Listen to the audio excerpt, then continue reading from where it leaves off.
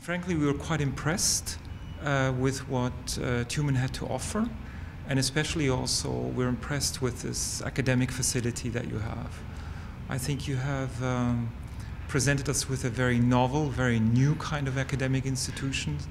Uh, it's good to hear that you are uh, reaching out also to Switzerland, to Swiss universities, and uh, Switzerland would welcome you with open arms. I think there's more potential uh, to reach out to us.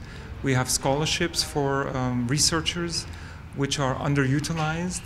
Uh, we would very much like to change that and have much more people from Tyumen or people who study in Tyumen come to Switzerland and vice versa, more Swiss to join your institutions or other institutions here in Tyumen.